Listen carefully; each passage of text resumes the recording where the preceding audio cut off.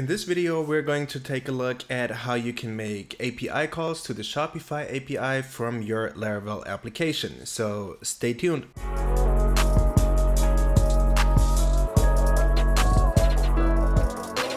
So this is the place where we left off at the last tutorial where we added a collections component which just shows this collections right here and we also added a navigation link. And if you're interested in how that works then just click the link to that last video. But now I want to show you the bread and butter of Shopify develop, app development. And that is making API calls to the Shopify API. And in this video, we're going to take a look at the REST API calls. And in the next video, we're going to refactor the whole code to use the GraphQL API from Shopify. In order to show the collections, I'm just going to use a simple resource list and we can take a preview of how that will look if we switch tabs to the Polaris documentation, to the Shopify Polaris documentation.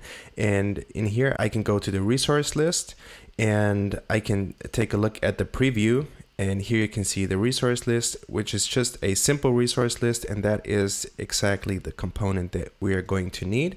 So I'm going to switch the tabs to code. And from this resource list I will have to copy the code but I'm not going to copy the whole code. Everything that I want is just within this card right here. So I will have to copy that. And now I will switch back to VS Code. And in here I have my component that I have already set up and I'm going to replace this collection with the cop with the code that I have copied. And now I just have to make sure that I import all of the components. So import that import the avatar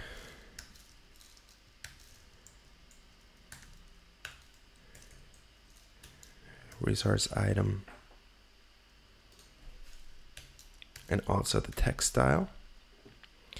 I still have an error here for the ID, and it says number is not assignable to type string.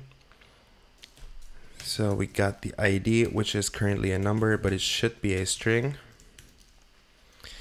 Now we got rid of all of the errors, and I can save it uh, what is left is I have to type npm run watch and it has compiled successfully. Now let me go back to the co collections page, refresh the page, and here you can see the resource list. Now it doesn't look that good, so I will add some minor changes to it, just make it look a little bit better and by making it look better I mean that I want to add a uh, a layout and a page which is done pretty easily so I will just have to add a page component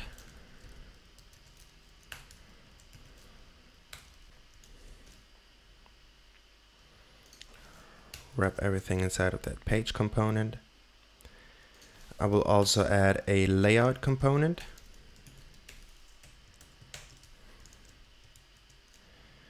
Wrap everything inside of that layout. And I will finally add a layout section. Wrap everything inside of that layout section. Save it and wait till it compiles. Now let me refresh the page and take a look at how it looks now. And there you can see that it looks a little bit better. And now I want to display my collections within that resource page. And you can make some REST API calls to the Shopify API from within the browser. For example, you can add the name of your store slash admin slash, for example, collections, and then type in .json and now you will get a full JSON of all of the collections that you have. But I don't want to make a call within the browser. I want to make a call from within my app. Now at first, you might think that you could make a call from the front end. And I want to show you what happens if you make a call from the front end. I'm just going to make a regular axios call within a use effect.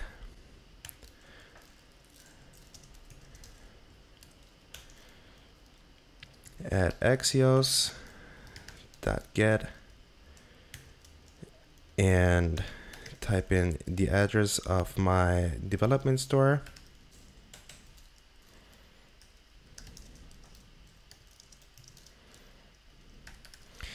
and I think it's enough if I just console log it.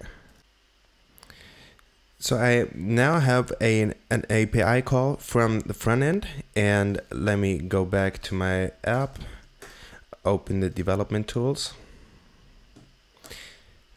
switch to console and refresh the page. And in here, you can see that the access to this URL has been blocked. So there's a CORS error. You would also see this from the networks tab. So you can see in here, there's a 404 error and that's because of a CORS error. That is because you're making a request to this URL, but actually your app is this URL. So this is a cross origin error. So it's not possible to make calls to the Shopify API from the front end of your app, but you will have to make those calls from the back end of your app. And since we're working with a Laravel application, that is no problem. All we have to do is create a new controller, which will handle the request for us.